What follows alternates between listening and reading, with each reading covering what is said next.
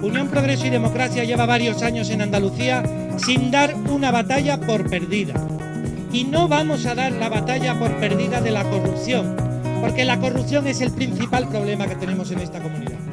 Y hasta que no removamos ese obstáculo, no vamos a poder sacar a Andalucía adelante. Es que la corrupción engendra pobreza.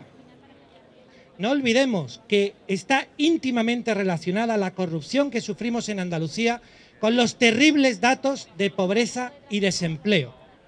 Por eso, para reconducir Andalucía, lo primero que tenemos que hacer es remover los problemas, quitar los problemas, bajar de ese tren a los corruptos, a los que hacen que esto no funcione.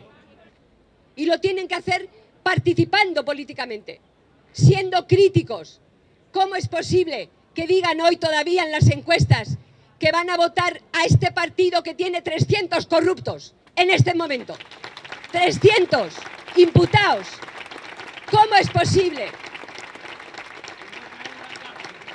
¿Cómo es posible? No podemos tener un gobierno que no nos merezca. Y los andaluces merecen un gobierno limpio. Un gobierno limpio, decente. Pero está en su mano. Está en la mano de cada uno de nosotros tener un gobierno limpio, un gobierno decente. El gobierno que nos merecemos. ¿Cómo es posible que en esta comunidad autónoma cada día la primera noticia sea el número de imputados nuevos?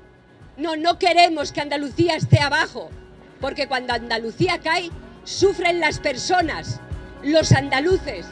No me gusta hablar de números, hacemos política para la gente, para las personas, no para los números.